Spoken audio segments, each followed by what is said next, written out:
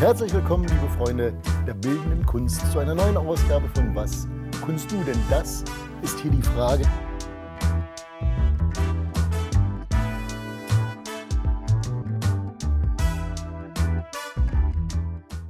Schönen guten Abend, herzlich willkommen zu einer neuen Ausgabe von Was kunst du? Denn das ist die Frage, die ich üblicherweise an meine Gäste hier in unserem Kreise richte. Und wir haben heute spannende Gäste eingeladen, tolle Themen.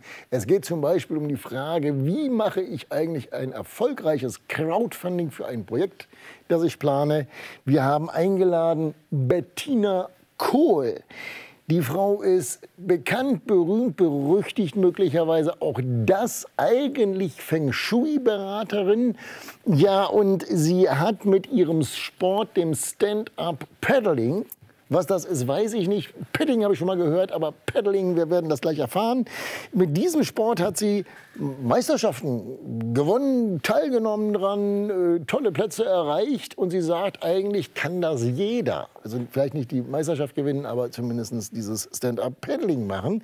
Wir freuen uns also, dass Bettina Kohl bei uns ist. Was hat das Ganze mit Crowdfunding zu tun? Wir haben Andrea Hausstetter bei uns. Sie ist Creative Directorin, äh, ich sag mal auf gut Deutsch, naja, sowas wie eine Filmproduzentin irgendwie. Und äh, zwar nicht in äh, Hollywood, sondern hier in Hamburg. Da soll es sowas auch geben. Sie produziert also tatsächlich Filme. Und äh, dieses Projekt, über das wir sprechen, ist eigentlich ein Film, bei dem es nämlich um Bettina Kohl und ihren Sport und ihre Erfolge geht. Und die beiden haben das zusammen gemacht. Der Film ist fast fertig. Ich glaube, ab nächsten Monat dann auch äh, sozusagen äh, irgendwo zu sehen. Wir werden es erleben, wir werden es erfahren. Äh, das Spannende aber, ihr habt das Ganze über Crowdfunding finanziert. Nicht Crowdfunding, das ist dann das Sammeln der Kunstwerke oder so oder Geld für die Kunst.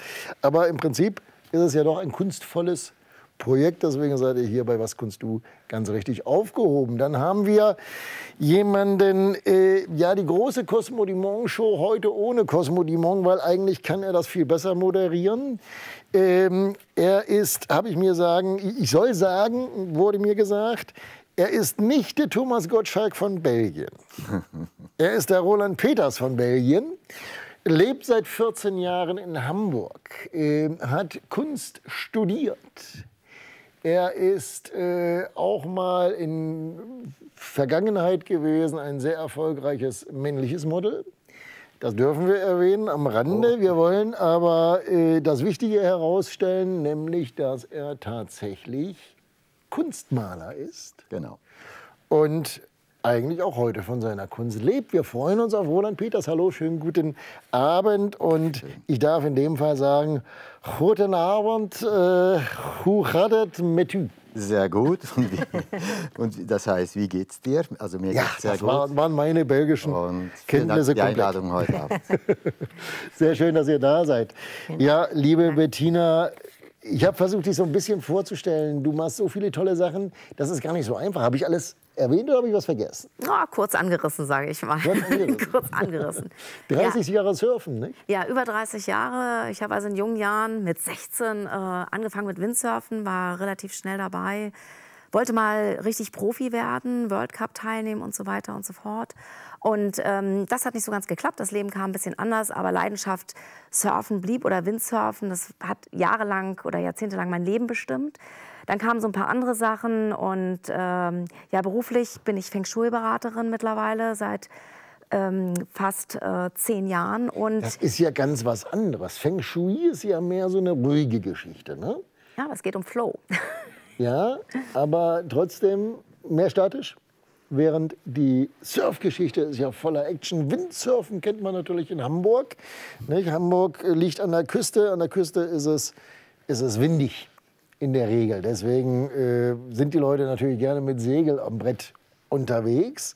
Das hast du lange Zeit gemacht, aber dann hast du irgendwie das erweitert oder, oder ergänzt? Ja, nee, also erstmal gab es einen Einknicker. Es wurde ein bisschen weniger, weil man braucht das schon, wenn man in Deutschland lebt und hier in Hamburg. Also auch wenn wir, wir sind ja relativ dicht am Wasser dran, aber zum Windsurfen brauchen wir Wind. Na, und da kommen so ganz viele Parameter und du musst halt, du hast es nicht unbedingt vor der Haustür.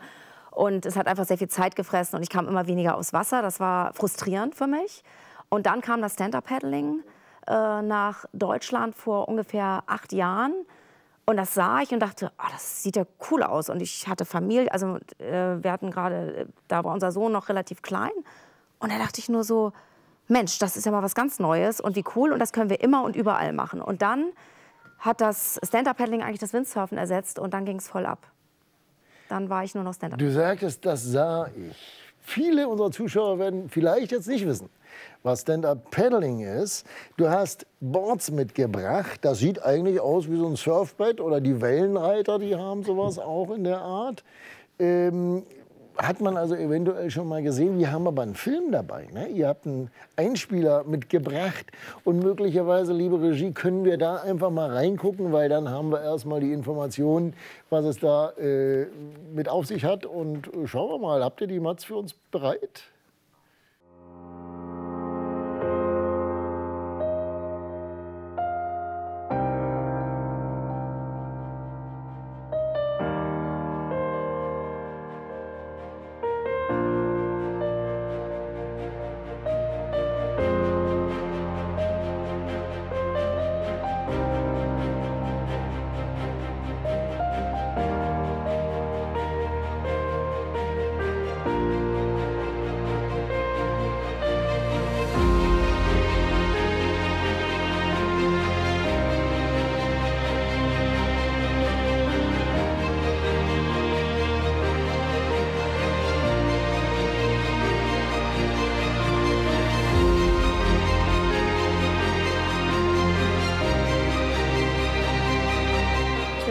Kohl, ich bin 50 Jahre alt und ich hatte mal einen Traum.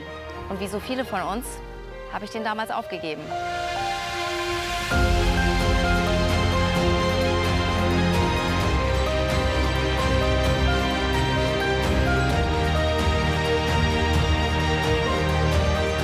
Mein Traum war, professioneller Windsurfer zu werden.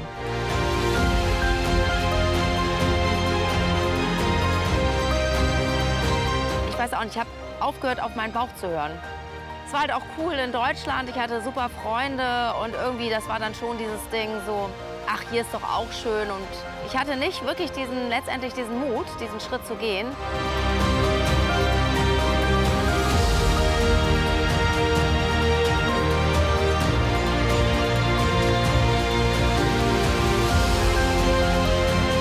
Und dann kam das Stand-Up-Paddling in mein Leben. Mich war diese Verbindung zur Natur und ein Teil davon zu sein, ein Leben lang extrem wichtig. Das Meer erstmal verbindet uns alle. Und äh, das Wichtige ist, das zu erhalten, weil es ist eine ganz andere Welt für sich. Und wenn wir die kaputt machen, dann machen wir uns selber auch damit kaputt.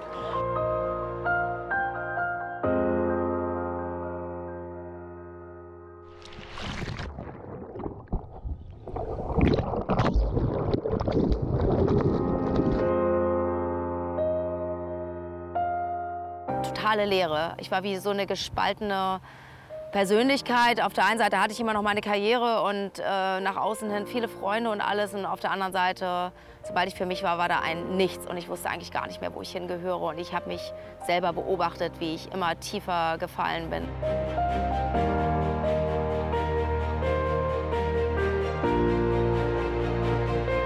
Ich habe immer an mich selber geglaubt. Also ich habe halt gemerkt, ich habe irgendeine Power, die ich mir selber nicht erklären konnte und aufgeben war keine Option.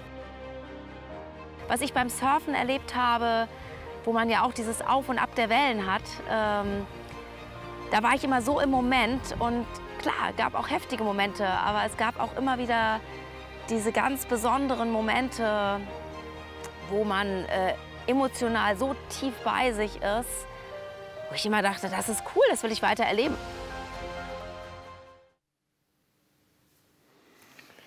Ja, äh, bei anderen Sendern ist das dann der Moment, wo der Moderator oder die Jury weint, weil es so ergreifend ist. Und so ein kleines bisschen ging mir das auch tatsächlich eben so. Nicht? Ich musste ein bisschen schlucken. Was für eine Lebensgeschichte. Man kriegt Gänsehaut, nicht? Bettina, ja, und das geht halt noch wahnsinnig spannend weiter. Also ähm, mich hat das äh, Surfen oder auch das Thema Meer durchs ganze Leben getragen. Also immer guten und in ja, nicht so guten Momenten, die jeder von uns hat, bin ich ans Meer gefahren und bin total wieder in meine Kraft gekommen. Und ähm, ja, was, ähm, das hat sich praktisch, da gab es dann sozusagen einen dramatischen Höhepunkt in meinem Leben, weil durch das Stand-Up-Paddling bin ich plötzlich wieder durch Zufall zu dem Thema Meisterschaften gekommen, was nie geplant war mhm. und merkte, dass so eine alte Leidenschaft wieder hochkommt. Mensch, du wolltest ja mal im World Cup teilnehmen. Und auf einmal war ich Hamburger, Vizeme äh, also, ja, Hamburger Vizemeister. Ähm, ich hatte ähm, bei deutschen Events in der Welle war ich drittplatziert und ich hatte plötzlich ein Ticket zu den Weltmeisterschaften, weil ich deutsche Vizemeisterin geworden war. Und das mit 50 Jahren. Das war wow. natürlich äh, echt so wow. Und in dem gleichen Jahr hat mich aber privat ein Wahnsinnsschicksal ereilt, weil meine Mutter sich das Leben genommen hat. Und dann stand ich da so mit dem größten oder mit dem schlimmsten Ereignis meines Lebens, mit dieser Herausforderung, mit dieser Situation umzugehen und gleichzeitig diesen Traum, alten Traum so ein bisschen in den Händen zu haben. Und was machst du jetzt? Und für mich war ganz klar, es war wieder dieses, okay, äh, ich bin echt, ich habe weiter gepaddelt im wahrsten Sinne des Wortes. Ich habe beschlossen, ähm, okay, es geht weiter. Ich weiß nicht, was da auf mich zukommt, aber ich gehe damit. Ich reite diese Welle und ähm, habe da sozusagen ähm, gesagt, okay, das, das wird mein Ziel werden. Ich werde an diesen Weltmeisterschaften äh, teilnehmen. Einfach auch, um zu zeigen, es geht weiter, auch anderen das zu zeigen. Ein kleines bisschen ist dieses, ich reite die Welle für dich auch, ich meistere mein Leben. Genau, und mit allem, was dazugehört. Also es ist halt nicht immer nur oben auf der Welle. Ne? Also es ist halt auch mal unten, aber es geht weiter. Genau, also es ist ein Auf und Ab, Tide. Ne? No man is over. Genau, und Wellen sind ja auch nicht vorhersehbar. Du musst Wellen nehmen, so wie sie kommen beim Surfen. Du kannst dagegen ankämpfen und sagen, so, oh, die will ich aber nicht oder so, hast aber auch keinen Spaß da draußen. Also jetzt im übertragenen ja. Sinne. Aber wenn ja, und du würdest wahrscheinlich einfach vom Brett fallen und reinfallen, wenn du ja. das nicht ausbalancierst. Nicht? Ja, das Leben ist ja auch so ein Balancieren die, die geben dir eine Energie mit. Und ja. wenn du entweder kannst, kannst du überlegen, gehe ich mit dieser Energie oder gehe ich gegen an. So, und jetzt ist ja im Prinzip im übertragenen Sinne. Und ähm, ich habe das auch für mich genutzt, um einfach auch so ein Ziel zu haben, ganz klar. Und ähm, schon vorher hatten Leute mir halt ähm, immer so angetragen, Mensch, das ist so inspirierend, was du machst. Weil, also ich meine, ich bin ja mittlerweile auch, ne, jetzt bin ich 51 und bei vielen immer so, oh, ne, also jetzt wäre ich ja alt, ne, und wie auch immer, ne, und haben dann viele Ausreden und die immer so, du musst mal deine Geschichte erzählen. So. Und das waberte immer schon länger rum. Und wie das dann, ähm, das ist ja 2017 letztendlich passiert äh, mit meiner Mutter. Und das Ticket für den World Cup hatte ich jetzt 2018. Ähm, da, ähm, jetzt habe ich gerade den Faden verloren. Nein.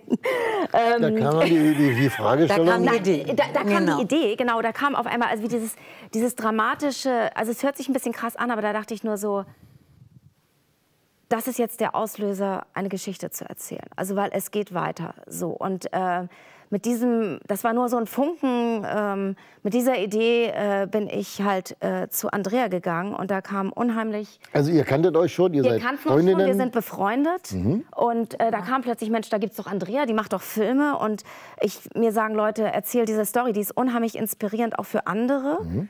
Und dann kam mir die Idee, ja Mensch, also ich möchte gerne eigentlich ja, ein bisschen meine Geschichte, aber es geht mir auch um Geschichten von anderen Menschen zu erzählen, die inspirierend sind, die das, das Meer, also insbesondere das Meer, aber auch die Natur natürlich ähm, ähm, genutzt haben, auch um wieder in ihre Kraft zu kommen und gleichzeitig auch den Bogen zu spannen, dass die Natur schützenswert ist. Also dieser Bogen war eigentlich da. Es geht um Empowerment, um ähm, es geht weiter, go for it. Ne? Also glaub an deine Träume, glaub an dich, mach dich auf die Suche nach dir und ähm, verbinde dich mit der Natur und schütze sie. So, und mit dieser Idee bin ich zu Andrea gegangen und die war dann, im Englischen sagt man so schön gleich, hooked.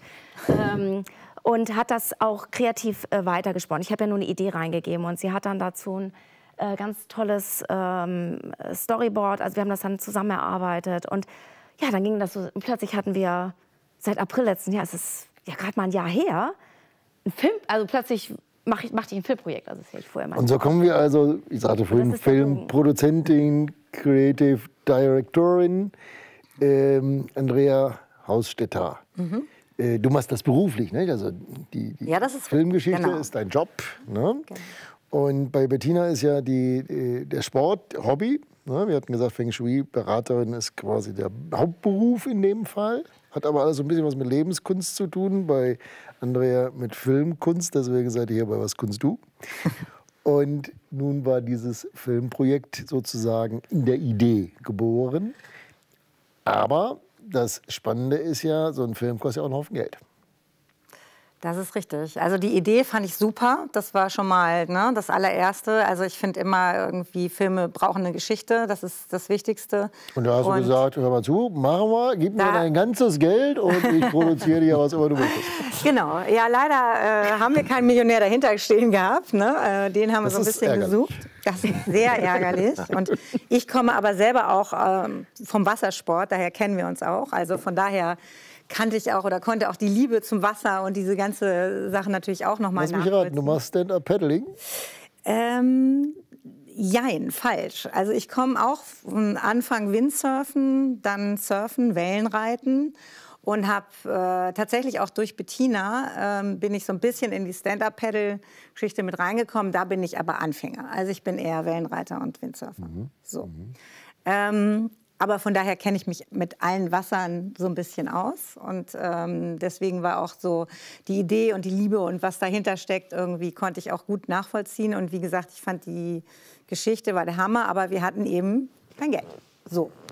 Ähm, Genau, und das, äh, was uns dann sozusagen äh, in die Köpfe kam oder da wir das äh, gesehen haben, ähm, das andere das auch machen, war halt Crowdfunding.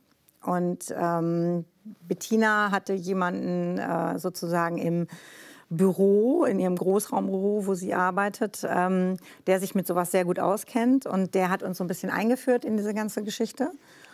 Eine kleine Zwischenfrage. Äh, Du bist Feng Shui-Beraterin und arbeitest in einem Großraumbüro? Ja, sag mal so, ich, hab, äh, ich bin ja eigentlich bei den Kunden unterwegs, aber ich habe jetzt hier in Hamburg in der Stadt, arbeite ich in einem, ähm, habe ich auch noch sozusagen ein Stadtbüro in einem so, großen äh, okay. Coworking Space, Ah, okay. wo ich dann halt auch Kundentermine ähm, stattfinden lasse. Oder Jawohl. jetzt für das Filmprojekt haben wir da zum Beispiel ganz viele Besprechungen gehabt. Also klar ist ein Großraumbüro, ja. Okay.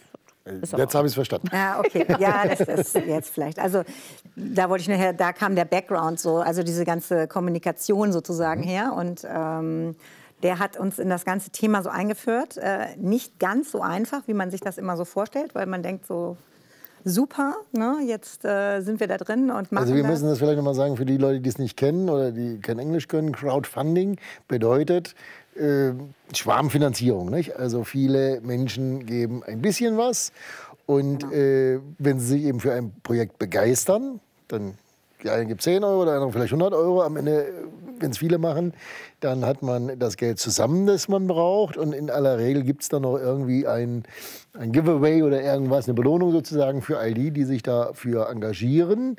Und so ist es eben möglich, quasi bankenunabhängig oder ohne große Sponsoren Projekte zu finanzieren. Das gilt also für viele unserer Zuschauer, wenn sie Kunstprojekte möglicherweise finanzieren möchten, aber eigentlich für alle Menschen, die irgendwie eine tolle Idee haben und sagen, das könnte andere begeistern.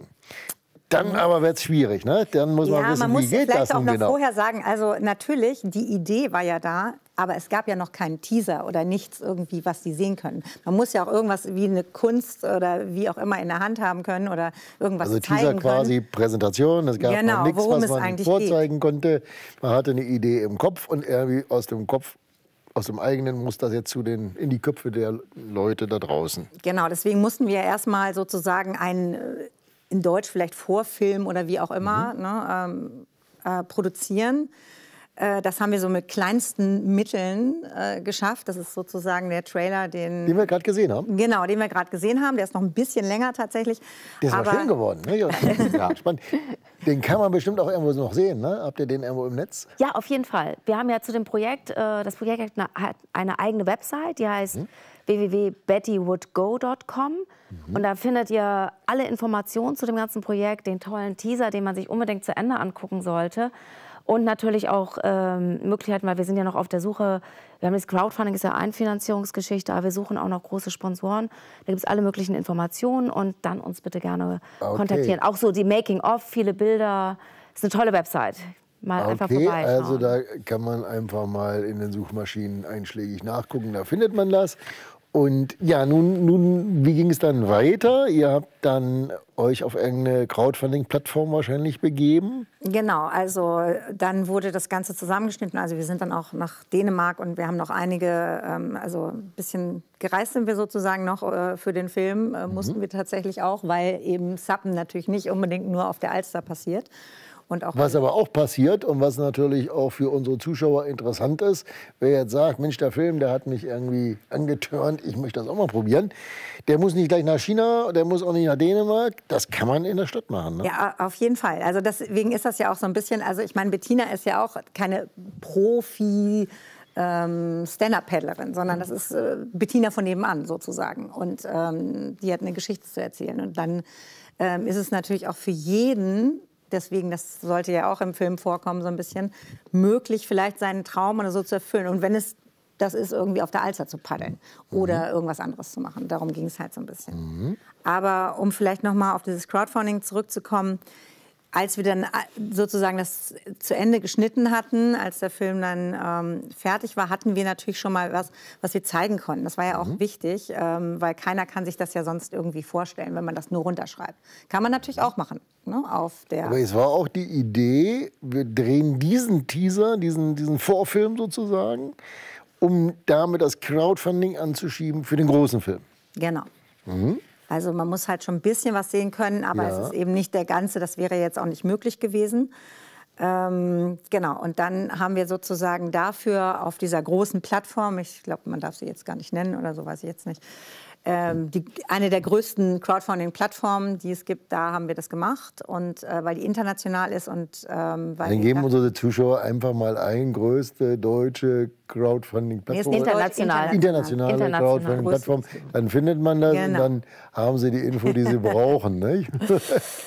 genau, die hat uns den Kick gegeben. Ne? Also auf jeden Fall ähm, haben wir dann äh, sozusagen das auf die Seite gegeben mhm. mit, mit allem, was dazugehört. Und das ist schon nicht ganz so einfach, weil man musste halt immer ähm, sozusagen mit ja, oder man muss diese Plattform halt immer bedienen, mehr oder weniger. Man muss mhm. natürlich die Leute bedienen und, und, und. Und das heißt nicht, dass man da einmal was draufstellt und dann... Ähm, sprudelt das Geld? Dann sprudelt das Geld ohne Ende. War echt cool.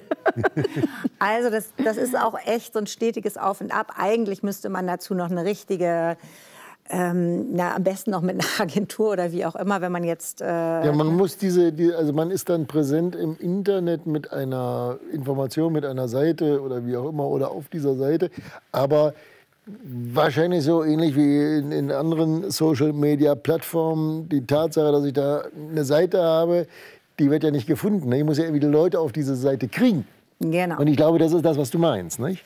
Ja, also einmal natürlich Social macht. Media. Also man muss schon sagen, dass die Seite selber natürlich auch dadurch funktioniert, dass Leute da immer mal wieder gucken, weil sie vielleicht sich interessieren für Film, für andere Projekte, mhm. für äh, Kunst, sonstiges, alles, was sozusagen Crowdfunding, äh, was dazugehört oder neue Ideen oder so, darum geht es ja auch.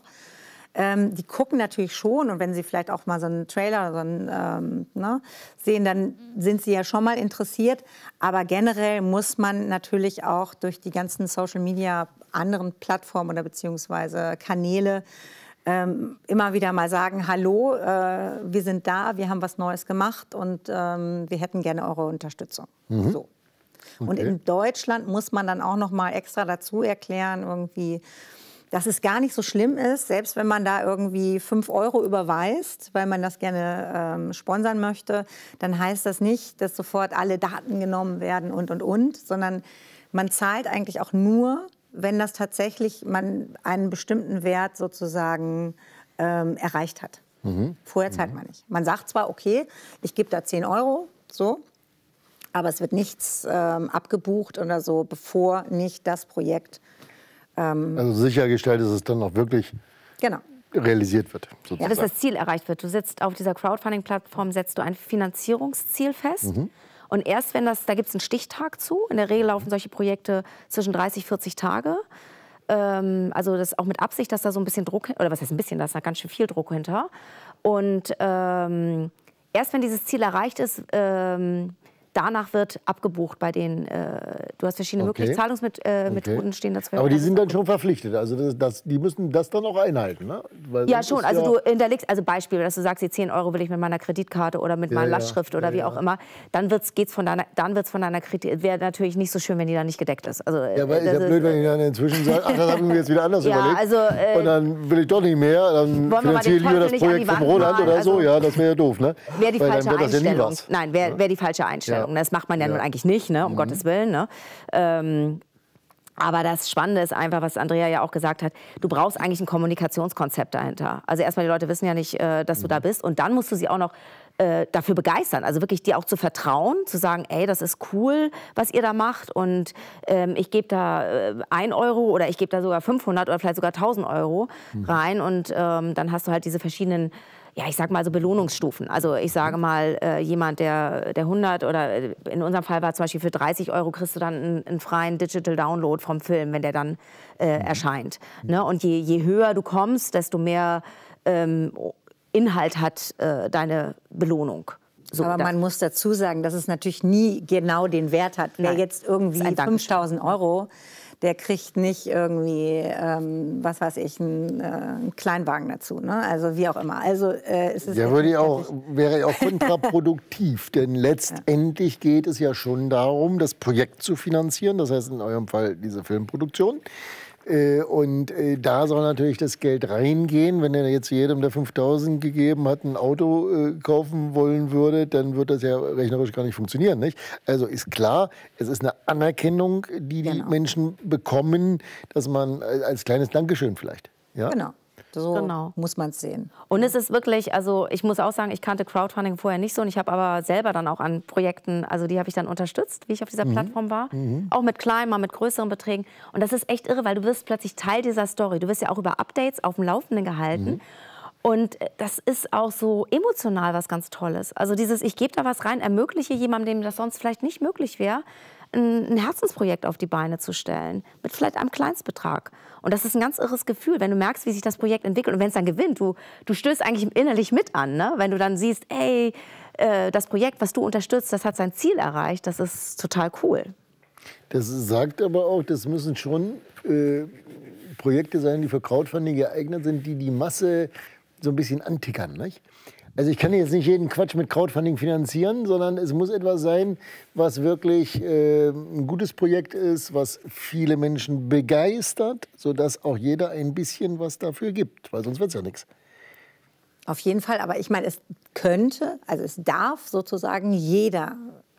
Ne? Ähm, so Ja, jeder Projekt- darf, aber es ist ja witzlos, Natürlich, wenn ich jetzt sage, ich mache mir die Arbeit, irgendwas reinzustellen, wo ich aber null Menschen mit begeister, Mhm. weil die alle sagen, nee, so einen Quatsch finanzieren wir nicht. Ne? Und dann, Genau. dann, dann führt das zu nichts. Also man braucht als Voraussetzung ein gutes Projekt.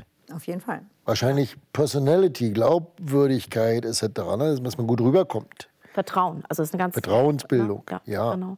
Und was heißt gutes Projekt? Also das ist richtig, ähm, aber ich finde ja auch gerade im Kunstbereich, man findet übrigens sehr viele Kunstprojekte dort. Also es ist echt interessant, wer da noch nie drauf war auf solchen Plattformen. Ich kannte es auch nicht. Das ist echt irre, was es da für Projekte gibt. Ob nun äh, Malerei oder Bücher oder ja, Filmprojekte. Also da gibt es ja auch wirklich von kleinen Filmprojekten bis Hollywood-Blockbustern. Musikproduktion. Musikproduktion. Es gibt wirklich alles aus diesem künstlerischen Bereich. Unter anderem gibt es auch Produkte, die entwickelt werden. Ne? Das ist dann nochmal so eine andere Schiene. Und ähm, ich glaube, das ist so ein bisschen, man, man muss eine Geschichte dazu erzählen können. Ne? Also ich, man könnte ja jetzt sagen, ja, ähm, Bilder, gibt es ja ganz viele. Aber wenn ich dann eine Persönlichkeit damit verknüpfe oder eine Geschichte oder warum meine Kunst jetzt besonders oder ich möchte aus meinen meine Bilder, äh, da steckt das und das Konzept oder was weiß ich auch immer. Ne? Du brauchst eine Geschichte dazu. Und du, für- ich glaube schon, ähm, man, man wird nicht den ganzen Markt bedienen, aber du brauchst eine Zielgruppe, weil so ist ja deine Kommunikation dann auch, auch ausgerichtet. Und auf die äh, fokussierst du dich eigentlich. Aber klar, das sollte nicht einfach. Also ich glaube, wenn man das lieblos da einfach reinstellt, dann passiert auch nichts. Ne? Also das merkt man schon, wenn Genau, also es ist also mit nicht die Herzblut Garantie, dass das funktioniert, dass man da ganz, also ich stelle es rein, werde sehr schnell sehr reich. So ist es nicht. viel Arbeit. Es ist ein sieben Viel Tage, Arbeit, 24 ja. Stunden Job, Crowdfunding zu machen. In der Fa vorher und in der Phase, ähm, da kannst du mal alles stehen und liegen lassen, wenn du es erfolgreich. Und das ist eine Zitterpartie bis zum Schluss. Jetzt hatten wir vorhin 40 Tage. Wir sind am 39. Tag und es ist noch nicht komplett. Dann droht das Ganze wirklich beinhart zu scheitern an, an 5 Euro die fehlen. Ja, das stimmt. Ist so, ja? Das ist, äh, man kann es tatsächlich äh, vorher irgendwann abbrechen. Das geht. Also wenn man Ne? sieht, da ko- Wenn man eh sieht nichts, irgendwie, also wirklich, das hat jetzt überhaupt keinen Zweck dann braucht man sich auch nicht ne? mehr die Arbeit machen. Ne?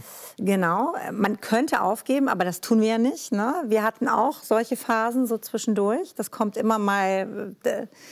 Ist schwierig halt zu sagen, woran das liegt. Teilweise vielleicht an Presse, dann hat man irgendwie was in der Presse, dann geht es wieder hoch, dann hat man irgendwie, ne, mehr haben davon erfahren oder so.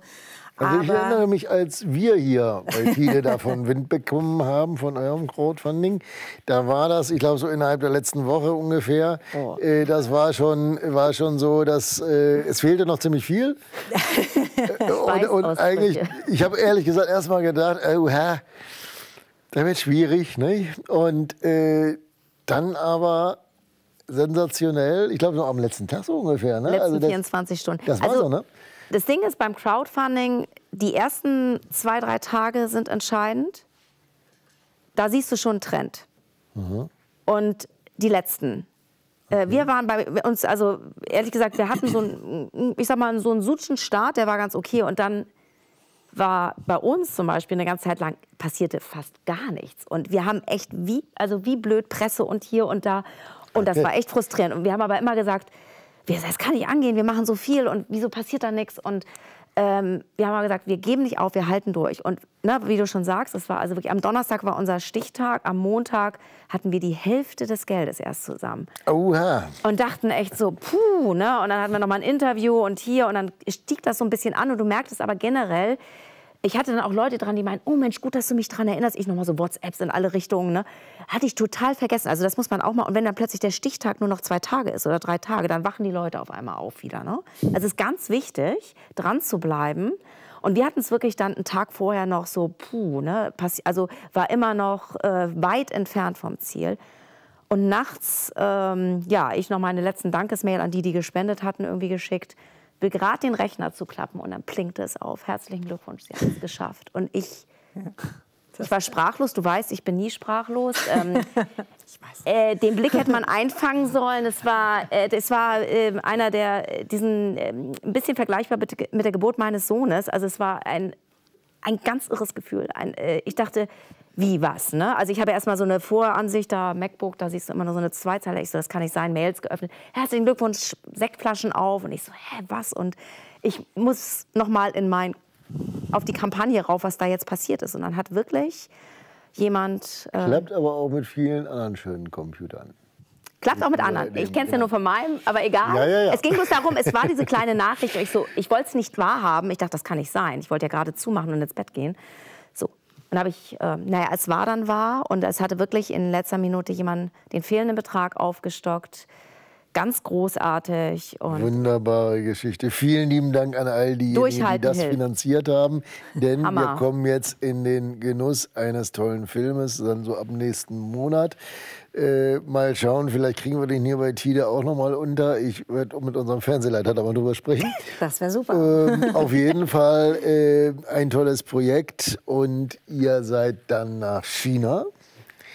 Du hast an der Weltmeisterschaft teilgenommen, ist das richtig? Weltcup, ja, Weltmeisterschaft? genau. Weltmeisterschaft in China ist also eine Teamgeschichte. Jedes Land Genau. schickt Leute. Im, im Suppen gibt es verschiedene Disziplinen. Und ich war für äh, das, also Sub ist Stand-Up-Paddling, das ist die Genau, Abkürzung. ja. Ähm, ich war für, die, ähm, für den Bereich Wave, also Welle, am Ja. Start, ähm, weil ich deutsche Vizemeisterin bin. Und ähm, ja, ist eine andere Liga, muss man ganz klar sagen. Also ne, äh, die meisten dort sind um die 20, machen das als Vollprofis. Und ich habe gesagt, dabei sein ist alles. Ähm, und äh, mein Ziel ist, eine Runde weiterzukommen und ähm, ja, einfach da mein Bestes zu geben. Und Ziel erreicht? Ziel erreicht, es war der Knaller. Alles richtig gemacht. Alles richtig gemacht. Und ich habe dann sogar spontan noch, weil bei uns im Team jemand gesundheitlich ausfiel, an einem Rennen teilgenommen. Also ihr seht ja auch hier das kurze Board, das ist ein Waveboard, also sieht aus wie ein Surfbrett, relativ klein. Damit ist man in der Welle unterwegs. Dieses Riesenteil, was ihr hinter mir seht, 3,70 Meter lang, 12 Fuß 6, ist ein Raceboard. Die sind schmal und schnell. Ähm, ja, habe ich mich spontan noch für ein 18-Kilometer-Rennen angemeldet. Ähm, da warst du ja fast schon wieder in Hamburg. Da war ich fast in Hamburg, ich habe aber die Kreise in der Bucht gedreht.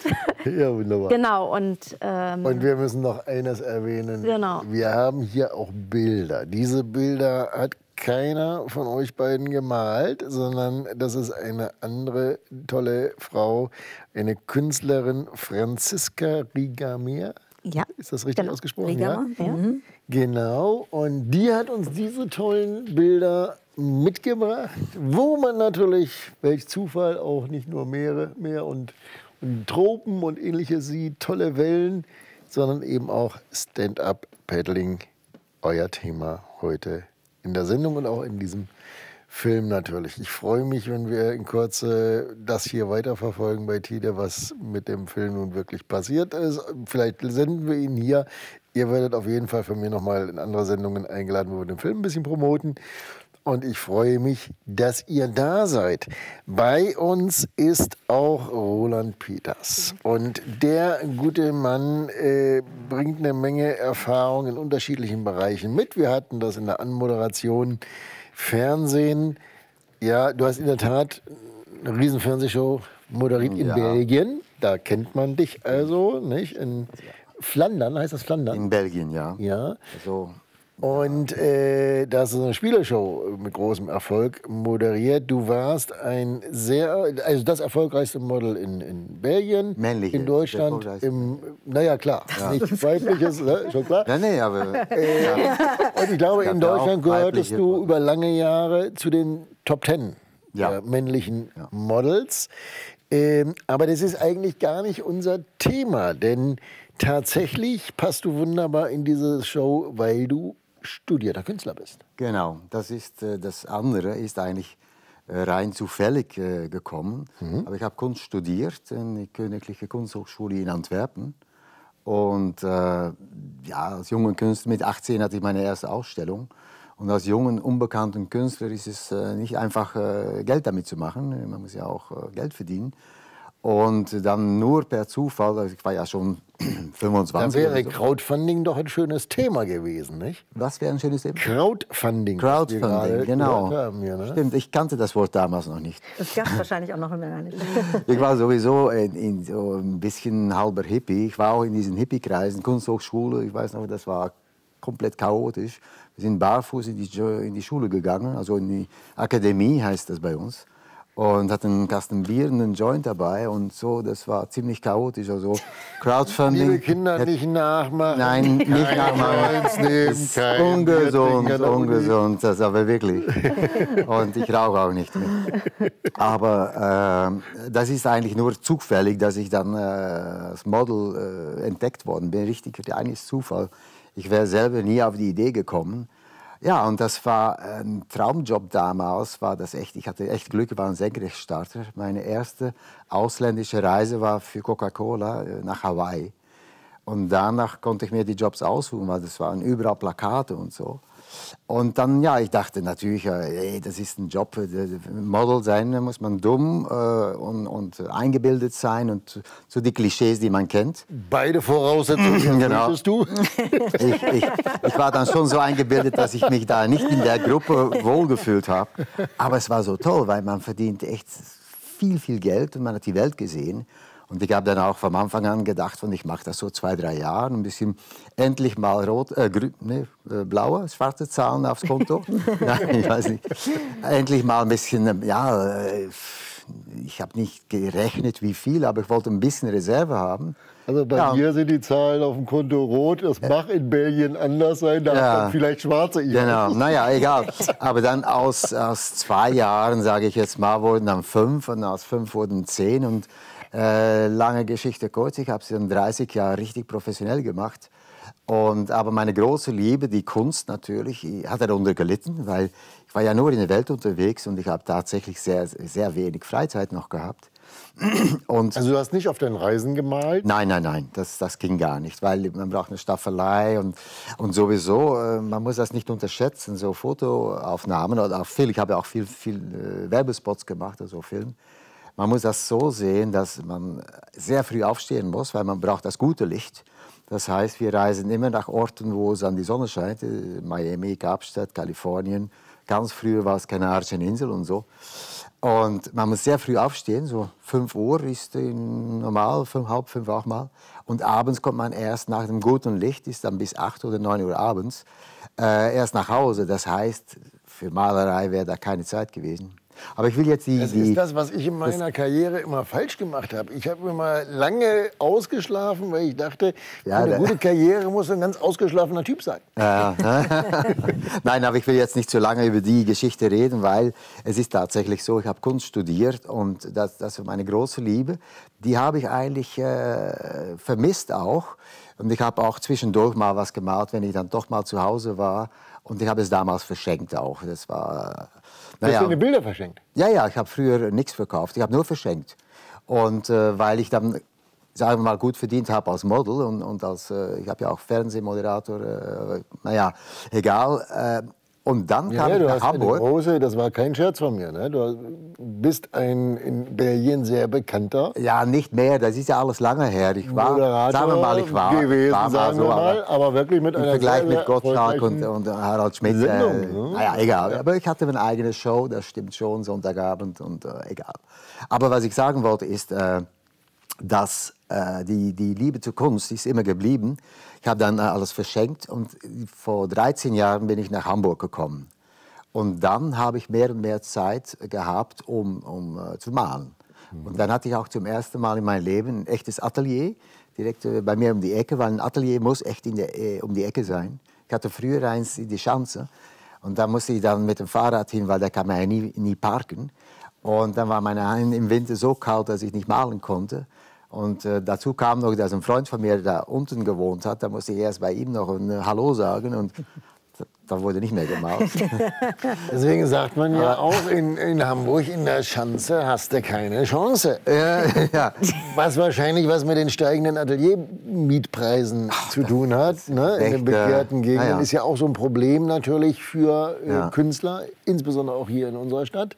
Genau. Äh, dass Ateliers eben auch nicht mehr so für Nee, umsonst zu haben sind. Ja. Ne? Also auch da wieder Fra die Frage, wie finanziere ich dann meine Kunst oder meine Karriere als junger Künstler? Du hast da viel Glück gehabt. Ja, eben. Das Das, äh, das kann ich wollte ja nicht zu viel über diese Modeln und alles, aber dadurch habe ich äh, zum Glück ein bisschen finanzielle Sicherheit aufbauen können, damit Mhm. ich mir erstmal leisten kann, Künstler zu sein, weil das muss man sich erstmal leisten können. Ja, und viele Künstler müssen eben nach wie Ja. vor irgendwo Genau. äh, Wenn- Jobs wenn machen, wie auch immer, bei Taxifahrer oder äh, Pizzeria-Kellnern oder irgendwas, äh, um sich das Künstlerdasein letztendlich leisten zu können. Aber es leidet die Kunst darunter. Ja, und es ist, ich habe jetzt gerade noch einen, äh, unter, einen Artikel gelesen in Monopol. Die haben, zwei Männer haben drei Jahre lang die Kunstwelt äh, also, äh, untersucht, rein mit Daten, Daten, Daten. Und es ist so, dass wenn man nicht vom Anfang an in den High Segment ist,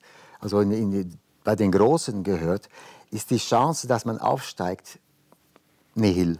Das heißt, ganz vergessen. Das heißt, man muss äh, entweder viel Glück haben, so, Talent ist eigentlich schon Nebensache. Viel Glück haben, die richtigen Beziehungen haben. Wenn man natürlich Andy Warhol oder äh, Iggy Pop oder David Bowie als Freund hat und all die Galeristen in New York kennt, easy. Und die zwei Männer, die das untersucht haben, die haben äh, drei Jahre lang äh, alle Künstler, äh, Es so ist Künstler, schwierig, die alle zu kennen, die du gerade genannt hast. Die sind, glaube ich, alle schon tot. die sind da, ja, Iggy Pop lebt noch. Äh, Der, der sieht zwar schon nicht mehr so frisch aus, Iggy Pop lebt noch, ja, aber die anderen sind genau. tot, ne? Aber es ist so, die haben 500.000 Künstler untersucht und von diesen 500.000 sind nur 240 aufgestiegen in den hohen Levels. Und das ist, äh, ist 0,02, ich habe es mal ausgerechnet, 0,02. Und wer organisiert das so? Das sind nur die ganz Großen. Das ist MoMA, New York, die, die, das ist Guggenheim und noch so ein paar äh, wahnsinnig bekannte Galeristen. Und dann die High-Segment-Künstler. und dann natürlich sehr reiche äh, Leute, die, die halt Kunst sammeln. Und die behalten das mit Absicht so hoch. Weil die Zahlen, weil man denkt immer so, okay, wenn man die Zahlen hört, im Kunstgeschäft ist gigantisch viel zu verdienen. Das sind nur so wenige. 30 Prozent von allen Galeristen in Deutschland machen Verlust. 30 Prozent. Und wie gesagt, es sind 99,98, die davon kaum leben können. Also ich habe gehört, in Berlin gibt es ungefähr 600 Galerien, davon machen jedes Jahr 400 zu. Ja. Und 400 neue ist, wieder auf. Nicht? Also es trauen sich auch immer wieder Leute daran. Es ist echt undemokratisch. Und die großen Jungs da oben, das, sind, das geht ja gar nicht mehr um die Kunst, das ist Investment. Das ist einfach reines Investment. Mhm. Weil wer sagt, dass, dass äh, so, so ein Bild 150 Millionen wert ist? Wer bestimmt das? Mhm. Die Künstler auf dem Niveau, die können einfach einen Strich machen und ja, das ist dann drei Millionen wert, weil es ist die Unterschrift, die zählt. Nicht mehr, was da drauf steht. Ja, es naja, gibt natürlich klare Strategien auch im Marketing. Am Ende ist Kunst dann eben auch einfach Big Business. Natürlich. Ja, das Und ist aber ganz ähnlich wie ob wir jetzt Fernsehkarrieren nehmen, Filmkarrieren, Hollywood und Co., äh, ist es dasselbe letztendlich. Und äh, klar, auch in der Kunst ist das so. Da gibt es eben immer nur ganz wenige, die sich überall durchsetzen und ja. die, großen Stars werden. Ne? So ist erstmal das Leben. Ne? Ja, ja, also man klar, klar. kann dann über andere Finanzierungsmodelle nachdenken, wenn jetzt alle kleinen, neuen, unbekannten Künstler sagen, versuchen wir es mal über Crowdfunding, wird es ja wahrscheinlich rechnerisch am Ende auch nicht funktionieren. Allerdings gerade hier in Hamburg ist gestartet das Crowd Art Funding. Das ist jetzt ein ganz neues Projekt. Das könnte man dann ja auch mal äh, in den Suchmaschinen äh, nachgucken. Das ist tatsächlich so etwas, wo Finanzierungsmöglichkeiten sind für ja. fast everybody, die dann eben durch eine, eine, Grundeinnahme, ich will gar nicht sagen Grundeinkommen, das ist immer so eine, so eine Geschichte, das hat so einen schlechten Ruf, nicht? dieses bedingungslose Grundeinkommen, äh, weil die Politiker immer so ein bisschen dagegen antreten, aber es gibt jetzt eben diese private äh, Initiative, die das als Business aufzieht ja. und da kann man natürlich dann gucken, äh, so bei sowas wäre das möglich, eben tatsächlich eine Art Grundeinkommen für Künstler. Ja, aber oder eben naja, andere. Ein Grundeinkommen wäre nicht schlecht, aber ich bin, ich bin, muss ich sagen, ich finde es auch gut, dass junge Künstler noch nicht zu viel an Geld denken weil sonst würden sie ihre ja, Spontanität Moment, du musst ja an Geld denken, wenn du Klar, davon man muss ja Geld. Ja, also wenn du nicht mal deine Miete denken. zahlen kannst und wenn du auch nicht dein Essen kaufen kannst, dann hast du ein Problem. Natürlich. Das heißt, dann gehst du im Zweifel in irgendwelche blöden Jobs, ja, ja. die dich von der Kunst abhalten. Ja, aber ich meinte jetzt, dass sie nicht, weil zum Beispiel die zwei Männer, die die Kunstwelt äh, untersucht haben, äh, mhm. verfolgt haben und so, die sagten auch, auf jeder Kunsthochschule oder Kunstschule lernt man seinen Beruf. Ich meine, sein äh, Zeichnen, Malen, Bildhauerwerk oder was alles. Aber das man lernt, handwerkliche Teil, ja. Man lernt das Management nicht. Und ja. das ist so wichtig für junge Künstler. Andererseits finde ich persönlich, wenn man zu früh den Jungs beibringt, wie man da, da Gut, man soll schon wissen, wie man mit Galeristen umgeht und das alles. Aber wenn man zu früh dann direkt so denkt, oh, ich muss jetzt das große Geld mit meiner Malerei machen, dann ist man nicht mehr spontan. Weil ich habe das ja selber gemerkt. Ich habe äh, bestimmte Gemälde sofort verkauft und nachher haben noch 20 Leute gefragt, ah, kann, kann ich das noch kaufen? Ich sage, ist verkauft, ist verkauft. Dann würde ich nur noch das gleiche Gemälde malen und, und nur durch das gleiche Stil. Und dann würde ich meine Kreativität nicht mehr frei äh, laufen lassen können. Hm. Aber um die Folgegeschichte zu beenden. Ja, aber wenn du dann kein dann Geld gehabt hättest für deine Miete oder deine Brötchen, dann hättest du das im Zweifel auch gemacht wahrscheinlich, ne? Sorry, wenn du jetzt nicht die Einnahmen aus dem Model- oder Fernsehgeschäft genau, das gehabt meine hättest, ich, ja, das, man muss sich das erstmal leisten können. Dann hättest Und du wahrscheinlich doch gesagt, Sicherheit. ich male jetzt und dupliziere meine genau. erfolgreichen Werke, einfach um genau. leben zu können. So ist es. Ja. Und dann bin ich halt äh, danach äh, nach Hamburg gekommen, vor 12, 13 Jahren.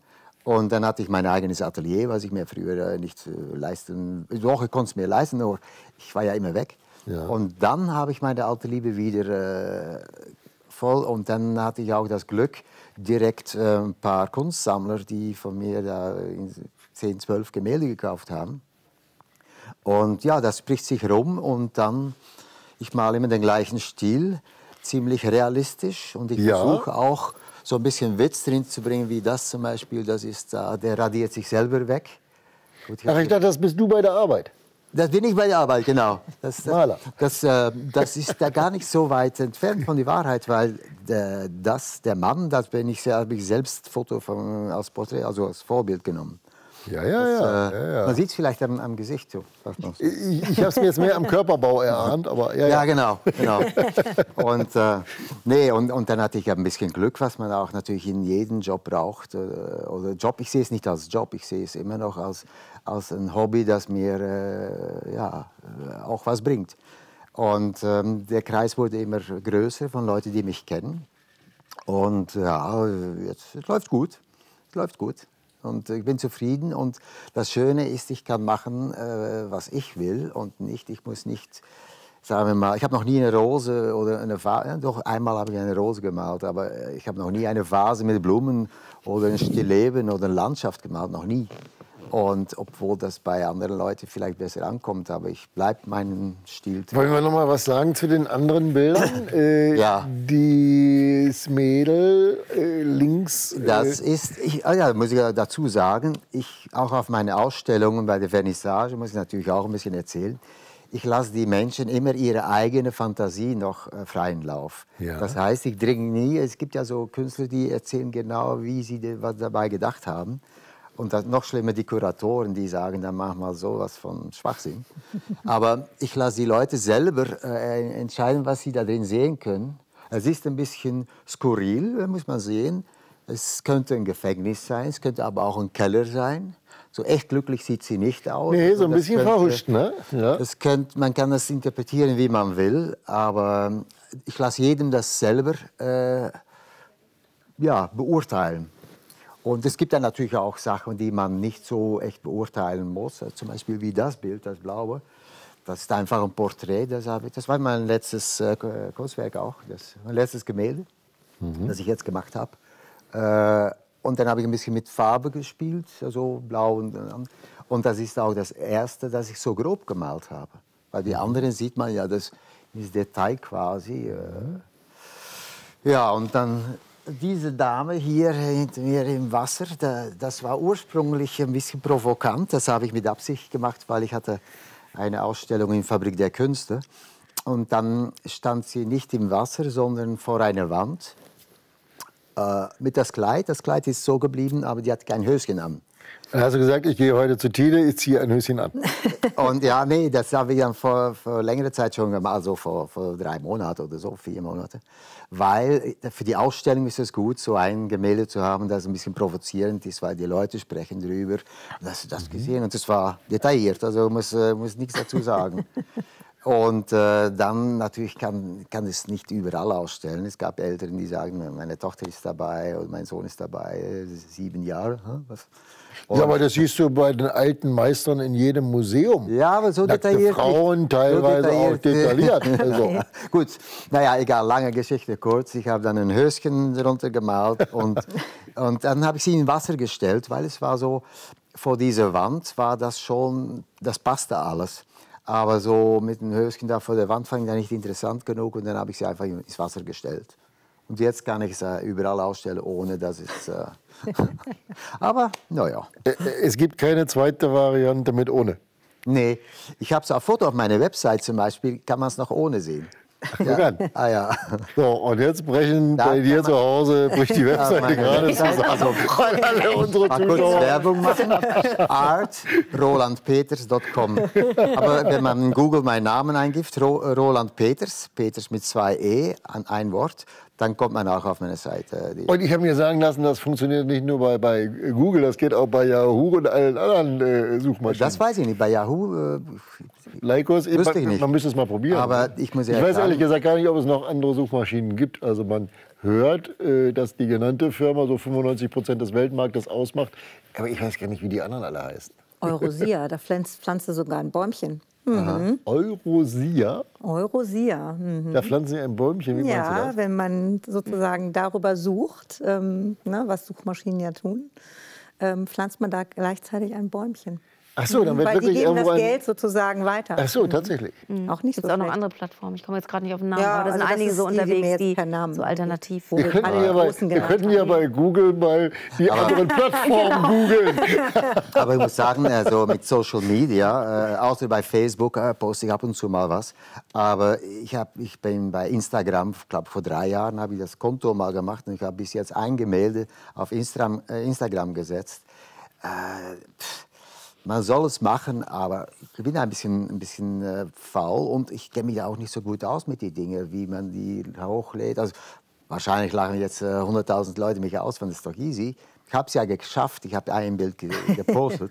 Ja, das, ist eine, das ist eine Generationsgeschichte. Ne? Also die, die ganz Jungen unter unseren Zuschauern, äh, die haben wahrscheinlich, da, die lachen da wirklich drüber. Ja, ja, ja, sie. weiß schon viel Aber mehr. so in unserer Generation ist das schon so eine Sache für sich. Und ich persönlich habe da auch durchaus so meine Bauchschmerzen, also sind das soziale Netzwerke, ich halte sie für asoziale Netzwerke, Ja, denn da passiert doch sehr viel außerordentlich Bedenkliches. Nicht nur der große Datenskandal vor drei Monaten hier in Deutschland äh, mit dem jungen Mann, der da die Po- Politiker und Prominenten äh, Accounts gehackt hatte, nicht? Ja, ja. sondern äh, generell ist das doch alles ein bisschen sehr bedenklich, was in diesen Absolut. Netzwerken so passiert. Natürlich, es eröffnet Chancen und Möglichkeiten auf der einen Seite, aber es hat auch, glaube ich, ganz, ganz viele negative Begleiterscheinungen. Natürlich. Das Schlimme am Facebook zum Beispiel, ich muss ehrlich sagen, ich war eine Zeit lang auch täglich, habe ich eine Stunde daran verschwendet. Das ist, es ist eine Sucht, weil man will dann lesen, was sie, ich habe ja Freunde überall in der Welt, dann lese ich, was sie sagen, aber dann lese ich auch noch mal, was die Freunde von den Freunden sagen. Na egal. Aber das Schlimme am Facebook ist, man postet nur Fotos von den schönen Reisen am Strand, da, da, Seychellen, Hawaii, egal. Oder auch hier, Ostsee. Und man zeigt nur diese schöne Seite von Leben. Und all die Leute, die das vielleicht nicht haben oder sich nicht leisten können oder wie auch, die fühlen sich automatisch dann irgendwie nicht so wohl dabei. Man will Ja, und ich habe auch gehört, Fotos es gibt Studien, die sagen, wenn du postest, ach, es geht mir so schlecht und so, Ja. dann fühlen sich die anderen alle ganz toll, Ja, ja, das weil ist- die sagen, Ja. "Ma, Das ist- wunderbar, endlich mal es einem funktioniert schlechter als mir. Also es ist schon sehr merkwürdig. Aber so ist das Leben, weil wie oft ist es so, dass Leute sich besser fühlen, wenn es jemand anders schlecht geht. Ja. Das ist, Ja, aber das es ist natürlich auch Ja. diese ganze Desinformation, Fehlinformation, also was, was der amerikanische Präsident immer sagt, Fake News, Ja, ne? ja.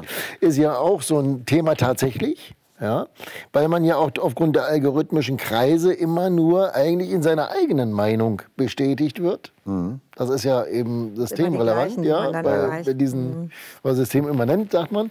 Ähm, also es geht eigentlich gar nicht anders, aufgrund der technischen äh, Dinge, die dahinter stecken.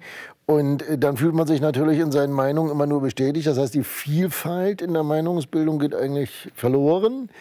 Und man ist auch nicht mehr vielleicht ganz so kritisch. Nicht? Und das ist natürlich die große Gefahr.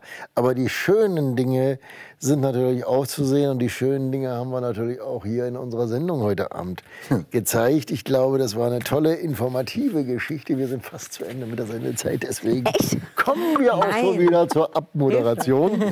Äh, vielen lieben Dank erstmal, dass ihr da wart. Ich glaube, das war lehrreich für unsere Zuschauer, weil man natürlich nicht nur etwas über Stand-Up-Paddling gelernt hat, nicht nur über die Karriere von Rolf Peters, sondern eben auch darüber, wie man über Crowdfunding möglicherweise eigene Projekte finanzieren kann. Ja, und zu unseren Zuschauern kann ich sagen, ihr könnt euch natürlich herzlich gerne auch bewerben hier bei Tide oder bei Cosmo Dimon äh, äh, auf der Webseite äh, einfach dafür hier mal auf den heißen Stuhl zu kommen sozusagen, nicht? Hier auf die schwarzen Sessel bei Was kannst du? Vielen lieben Dank an Bettina Kohl, an Andrea Hausstetter, Danke. an Franziska Rigama für die tollen Bilder hier und natürlich an Roland Peters ebenfalls für seine tollen Bilder. Und äh, die Präsentation heute hier bei uns. Danke, dass wir hier sein dürfen. Ja, genau. Vielen Dank für die tolle Einladung. Ich freue mich, vielen Dank und wieder einschalten. Nächsten Monat gibt es die nächste Ausgabe von Was? Kunst du mit ebenfalls spannenden Gästen. Vielen Dank, adios und goodbye.